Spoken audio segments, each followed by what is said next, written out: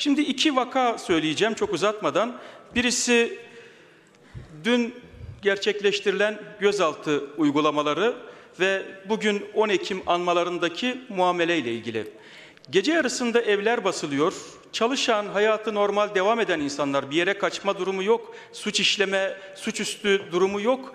Ama evlerdeki baskınlarda evler darmadağın edilmekle kalınmıyor. Bazı evlerde çocukların başına silah dayamak gibi çocuğun psikolojisinde hayat boyu geçmeyecek travmalar yaşanıyor. Şimdi bu bir güvenlik politikası mıdır? Bu toplumda öfke ve nefreti artırmaktan başka neye hizmet eder? Münferit olaylarsa, kişisel hatalarsa bile bunun takibi, denetlenmesi, cezalandırılması gerekmez mi? Yani bu tip vakalar bugün işte 10 Ekim Ankara'da anıldı, başka şehirlerde anıldı ama Van'da anılmasına izin verilmedi, müdahale edildi. Milletvekilimiz, danışmanlar, birçok kişi şu anda hastanede.